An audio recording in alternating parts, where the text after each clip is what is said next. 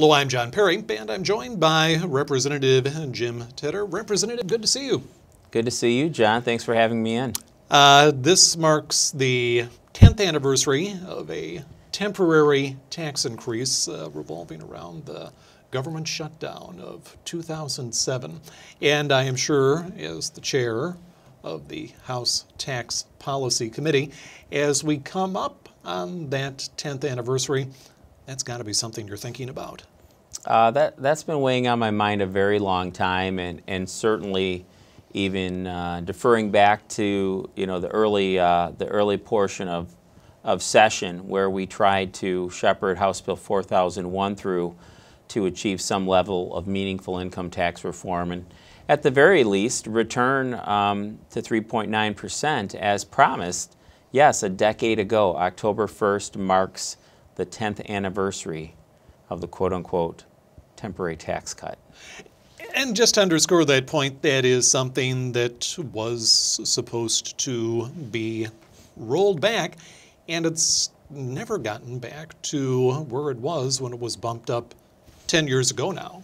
That's correct. There was, uh, there was an eventual phase, uh, phase down to 3.9, which would have uh, culminated in 2015, but again, due to, uh, I guess, budgetary challenges uh, faced by my predecessors, there was a need at the time, at least the, the general consensus, was to freeze the income tax reduction at 4.25.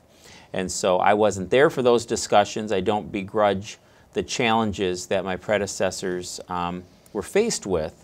But certainly, I believe that we can universally acknowledge that our state's in a different position than it was in 2012, and certainly in a different position than it was in 2007.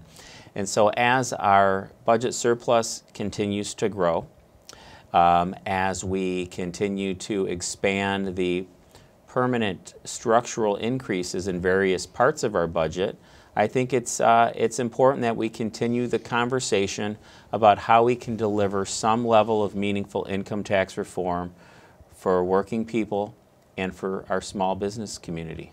Because it can be argued, can't it, that this was a promise that was made to Michigan families. Yeah, absolutely. And, you know, some will argue, well, promises are broken all the time in this business, and we are not beholden to the promises of the past. But I push back a little bit on that in that I don't think, as someone that stands for limited government, as someone that is representative of the working class families of this state, having been raised in a household as such, that um, we would be remiss in our responsibilities as legislators not to have an open and broad discussion about how we deliver broad based relief for the taxpayers of Michigan. On another topic, Representative, you've been working back in Oakland County on skilled trades issues, um, construction trades, construction careers. Mm-hmm. Could you make the argument that maybe we are starting to see a shift where these skilled careers maybe are given uh, a little more currency and credibility than they were a few years ago? Absolutely, and and not only are we seeing a uh, an acknowledgement of, of the value and really the financial opportunities that skilled trade careers present.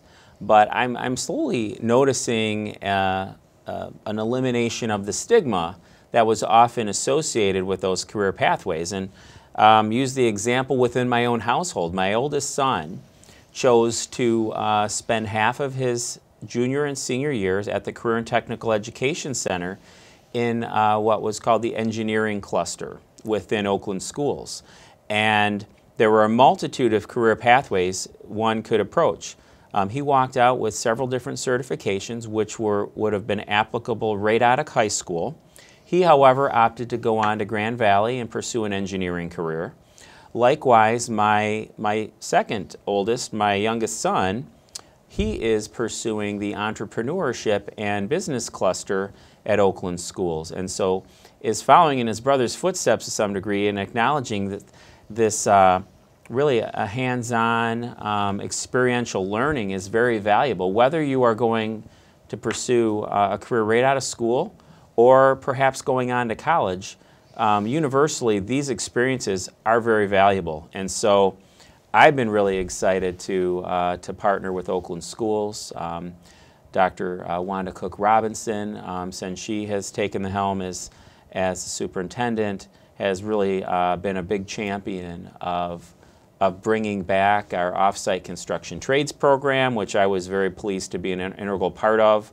Clarkston um, Community Schools, likewise, is offering a Clarkston technology, um, construction technology program that is available for 9th and 10th graders. And I was fortunate to be able to actually visit that classroom on the first full day of school. And I got to tell you, those students, you wouldn't have known whether they had been in that class for two months or two minutes. They were all engaged, excited about learning. I had an opportunity to talk to many of them.